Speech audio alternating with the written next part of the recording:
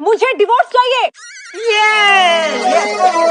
ਸਾਡੀ ਨੇੜੇ ਹੋ ਕੇ ਮਾਲਕ ਨੇ ਸੁਣ ਲਈ ਤੇ ਪੁੰਜੇ ਲੱਗਦੇ ਨਾ ਪੈਰਨੀ